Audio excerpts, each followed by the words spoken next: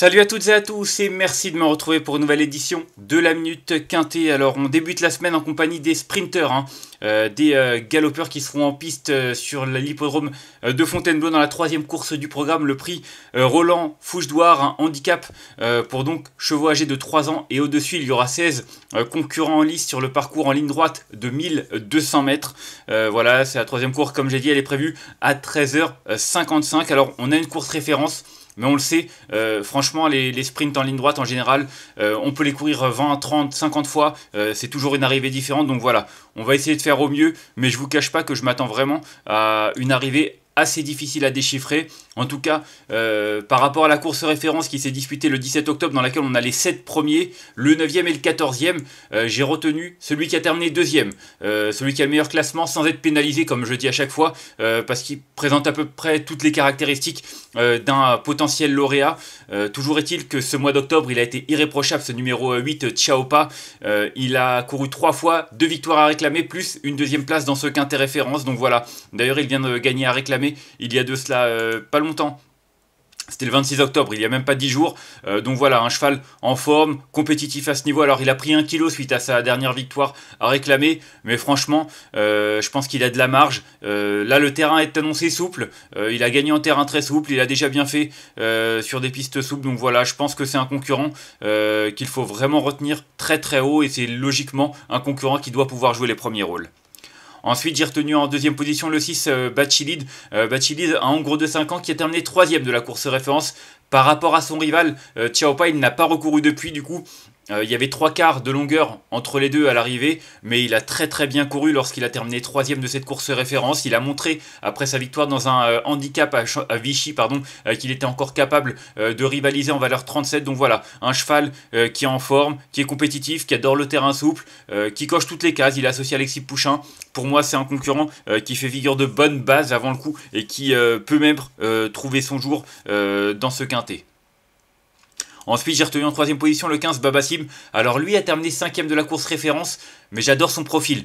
Euh, c'est un cheval euh, qui a déjà remporté un quintet, je crois que c'était à l'âge de 3 ans, hein, il, y a, bien longtemps, c'était euh, ouais, l'été 2022 sur l'hippodrome de, de Deauville. Pardon. En tout cas, c'est un cheval qui vient de terminer, comme je l'ai dit, cinquième de la course référence, montrant un regain de forme. Il est désormais descendu en valeur 33. Et ce qu'il faut noter, c'est que l'an passé, il avait, remporté, il avait terminé deuxième d'un quintet sur ce parcours quasiment à la même époque. Hein. C'était pas le même prix, visiblement le, nom a changé ou c'est pas le même. En tout cas, c'était le 7 novembre. Il terminait deuxième sur ce parcours en valeur 34,5. Là, il est en 33. Il y a 1,5 kg de différence. Il est sur la montante. Franchement, ça sent très bon. Euh, J'ai retenu en troisième position.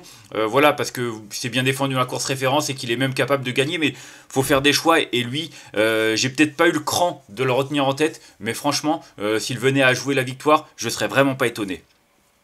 Ensuite, j'ai retenu en quatrième position euh, le numéro 2, Cortado. Il a couru qu'une seule fois dans un handicap euh, en France et c'est vrai qu'il a terminé seulement dixième. C'était en valeur 40,5. C'était lors de son avant-dernière sortie euh, du côté de Compiègne. Maintenant, il a été baissé. Il est en valeur 39. Et puis j'aime beaucoup sa dernière ligne. C'était il y a un, mois de cela. Il battait McTenet.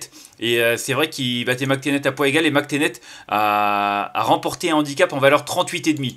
Lui est descendu en 39 désormais. Donc voilà, euh, en faisant les lignes, en croisant un petit peu, j'ai vraiment l'impression qu'il a une belle carte à jouer. Euh, il a déjà bien fait sur 1200 mètres du côté de Deauville. C'était cet été. Donc voilà, je pense que le parcours ne va pas le déranger. Tout comme le terrain souple. Et c'est vrai qu'avant le coup, pour son retour dans cette catégorie, je pense qu'à cette valeur, il est capable de créer une, belle surprise. Je sais pas quel code tu auras, mais en tout cas, euh, je vois vraiment une belle chance théorique. Ensuite, j'ai retenu en cinquième position le numéro 3, euh, euh, Scarface, qui n'est autre le lauréat que le lauréat du Quintet Référence, hein, disputé le 17 octobre. Euh, il est impressionnant, tout simplement. C'est vrai qu'on l'a connu très régulier, souvent abonné aux secondes épreuves hein, de handicap, pas forcément aux, premières, aux épreuves principales, qui sont support de Quintet en règle générale. Et pourtant, il a remporté à Chantilly un handicap en début de mois d'octobre, et il a confirmé deux semaines plus tard dans le handicap référence en s'imposant en valeur 34,5. Alors là, il est en 38,5. Il y a 4 kilos en plus. C'est pas une mince affaire, mais la bannière était là. Hein. Euh, c'est vrai qu'il a quand même gagné de une longueur et demie, ce qui est quand même pas mal euh, pour un handicap sur 1200 mètres. En général, c'est quand même un écart qui est assez conséquent. Et euh, voilà, moi je pense que malgré le point en plus, il est capable de repousser ses limites. Pour la victoire, je pense que ça va pas être évident. C'est pour ça que je le retiens seulement en cinquième position. mais en tout cas, c'est un concurrent qu'il faut clairement retenir dans une sélection. Ensuite, j'ai retenu en sixième position euh, l'As Torpen. Euh, la dernière fois, c'était un handicap euh, bien composé. Hein. c'est vrai qu'il affrontait un lot qui tenait la route, hein, avec de très bons 3 ans, même de bons 4 ans, qui étaient au départ, même des chevaux qui sont amenés sans doute à briller au niveau listed. Il terminait seulement 9ème, mais les écarts n'étaient pas si énormes. revenir sur un parcours en, sprint ne va pas le déranger. Il a déjà bien fait sur ce type de tracé et sur cette distance. Donc voilà, c'est bizarrement la première fois qu'il court à Fontainebleau. Il l'a toujours couru euh, sur des sprints à, Chantilly ou alors euh, du côté de Deauville, mais c'est la première fois euh, qu'il aborde un tel parcours sur l'hippodrome de la Sole. Mais voilà, c'est un, cheval expérimenté. Il court son 27e quintet, il en a déjà remporté 4. rien à ajouter. Pour moi, c'est un concurrent qui doit remettre les pendules à l'heure et lutter pour une place. Ensuite, j'ai retenu en 7 position le numéro 10, Royal Wood, quatrième de la course référence, une pouliche qui visiblement a encore de la marge. Elle a remporté deux handicaps coup sur coup cet été, euh, fin juillet puis fin août. Euh, le dernier en date c'était à Deauville, à Dieppe, pardon. Et puis dans la course, non c'est pas la course référence, excusez-moi, c'est peut-être une autre course référence, ouais.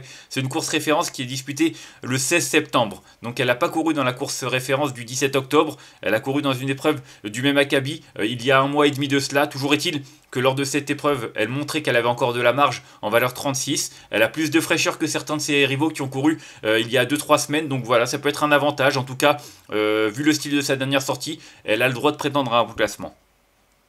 Ensuite, j'ai retenu en 8 position le numéro 4, Kilo Echo. Je l'aime beaucoup ce cheval-là. C'est un cheval de 8 ans qui n'a pas énormément couru finalement. Il a couru une trentaine de fois, ce qui est très peu pour un galopeur de cet âge. Euh, il a de l'expérience, il a quand même couru 10 quintés pour 3 victoires et 4 places. C'est quand même de très belles statistiques, même si c'est vrai que ses deux dernières sorties euh, dans cette catégorie ont été assez décevantes. Il est descendu en valeur 38. Euh, enfin voilà, il a remporté l'été dernier, l'été 2023, un gros handicap à Deauville en valeur 43. Franchement, il a 5 kilos au moins.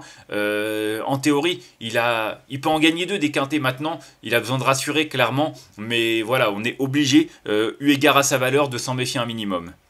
Et enfin, en cas de non partant, j'ai retenu le numéro 12, Avril au Manoir. Je parlais du, quatrième de la course référence. C'était euh, euh, lui, le quatrième de la course référence. C'était pas Royal Wood.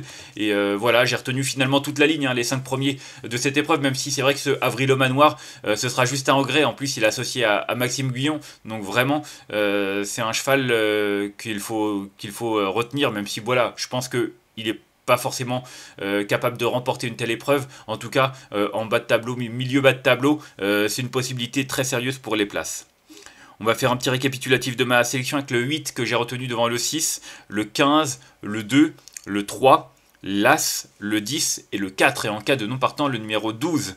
Euh, une course très ouverte, je vous l'ai dit. Alors, moi j'adore mes trois, préférés, hein, 8 Chaopa, 6 Bachilid et surtout le 15, hein, comme vous l'avez compris, euh, Babassim, euh, que j'aime tout particulièrement. ce sont trois bases qui sont valables, tout comme le numéro 2 Cortado pourrait en être une, tout comme même Royal Wood le numéro 10, enfin des chevaux que j'ai retenus un peu plus loin.